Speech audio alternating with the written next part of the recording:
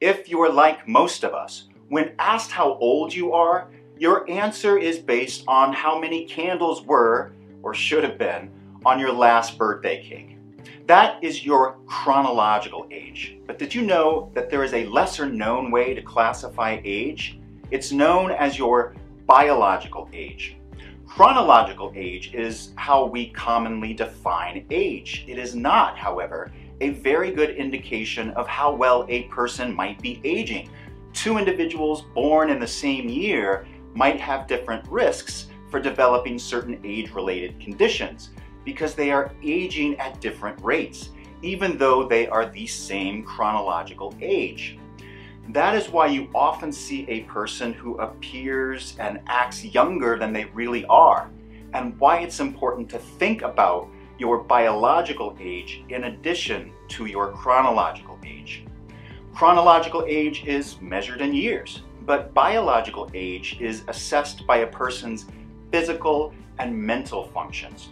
Your biological age, also known as your physiological age, is influenced by various factors. And while genetics plays a significant role in determining how well you age and, and your longevity, there are other important factors to consider. Lifestyle choices that you can make to influence something called epigenetics. Epigenetics is, is how your body turns on or turns off gene expression.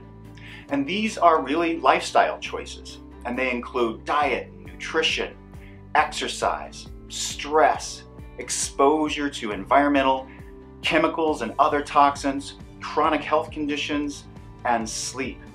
Now, epigenetics works through largely something called DNA methylation, telomere length, oxidation, something called age products or advanced glycation end products.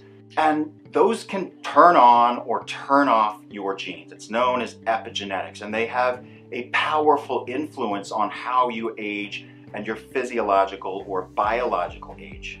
But did you also know that psychology, attitude, and mood is enormously influential to how you age?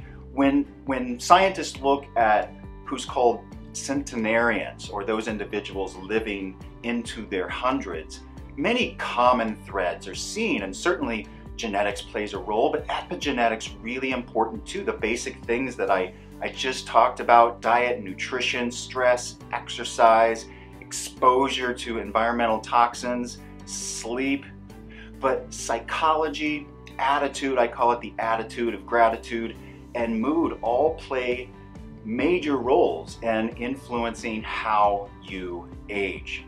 Take a look below.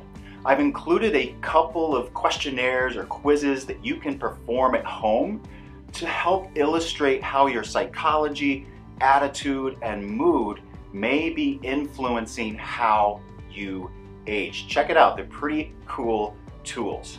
So at Zenith Labs, we've created a supplement called Longevity Activator. It helps to moderate some of these methylation processes on your DNA, the telomere, the length of your telomeres, and oxidation, age products. Check it out.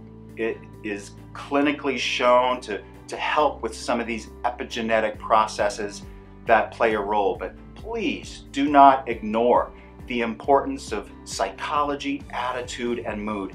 And of course, any supplement is just that. It's a supplement. We really want to focus on lifestyle choices so that you can achieve optimal health and wellness.